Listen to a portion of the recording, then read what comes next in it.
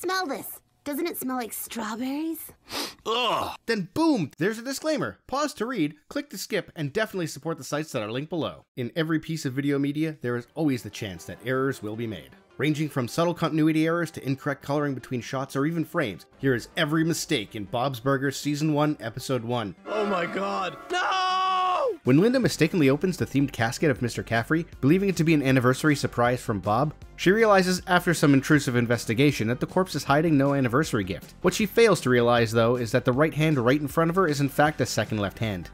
Bob and Linda both look the same in this flashback as they do in the present. Even if Linda had given birth to the youngest Belcher in the flashback, meaning this would be the closest time to the present, and thus require only a minimum amount of character aging, it would have been 9 years ago when Louise was born, so they should look younger. This issue is fixed in future episode flashbacks. Items appearing out of nowhere is pretty common between shots and scenes.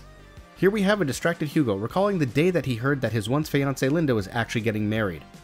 You're married to him? Ron is clearly standing behind Hugo with his arms at his side. After a short series of shots covering the 9 is divisible by 3 line from earlier in the episode, How do you remember that? It's 9 3. 9 is divisible by 3. That doesn't make sense. Ron is holding a large yellow poster that materialized from the ether. Speaking of things appearing, or in fact disappearing between shots, Linda's apron is a veritable Houdini. When Linda leaves the restaurant to speak with the protesters, she's seen removing her apron.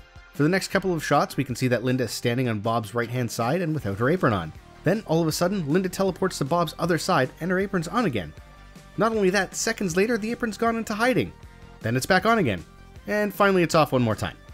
And this is not even the only time Linda performs apron magic. That's not a euphemism. They're really grinding the meat. When Bob forgets that today is in fact his wedding anniversary, Linda is wearing her apron and grinding meat. The next sequence features three flashbacks. During the first flashback, the pocket and pen on her apron disappear. They do return in the next flashback, but this isn't even where the real magic happens. It's made with human remains from the crematorium next door. As the fade between the birth flashback and present day transitions, you can see that the pocket, located on Linda's right side, magically moves to the left hand side of her apron as she walks off camera. From this shot later in the episode, we can see clearly that Linda's character design has the pocket modeled on the right hand side, so any deviation from the pocket being on the right hand side is incorrect. Okay, this is a small one, but Bob and Linda still have their aprons on while riding the Ferris wheel at the end of the episode. I'm pretty sure that the show does become more consistent with them removing the aprons when they're actually away from Bob's Burgers, but I'll have to get back to you on that. Now, this is the last of my tiny nitpicks. The presumed employee bathroom, denoted by the sign on this door, is actually the door leading to the alleyway from the back of the kitchen. Was Bob just going in the alley this whole time? Alright, now it's time to talk about Louise's little diabolical masterpiece. Oh crap. What I will, for the sake of YouTube, call the Bad Touch Burger. It comes with candy.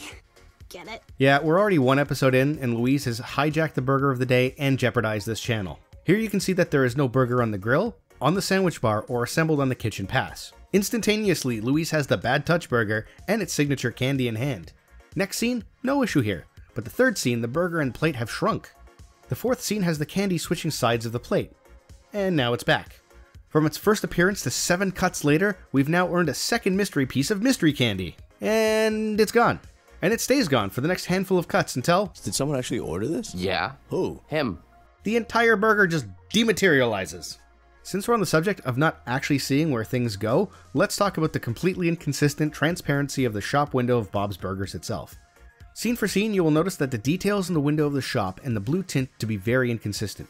Before diving deeply into this, I thought it might have been a technique where the details would vary from almost incomplete line art and very, very blue from far away, and then switched over to a very uh, lightly blue tinted, highly detailed area as the camera got in close. If this technique was employed with consistency, it would actually achieve this effect quite well. You can decide for yourself if the transparency of the window seems to fit the shot or if it's almost by luck. And since we're staring the problem in the face, let's look at a problem with Bob's face, or rather his reflection. While Bob's outside lamenting and talking to the restaurant, Louise asks him if the restaurant is going to close.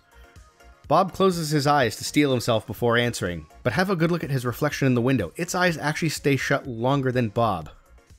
And that's every mistake in Bob's Burgers, Episode 1, Season 1. Did we get it wrong? Was there something we missed? Well, tell us in the comments below and you might be credited in a future episode.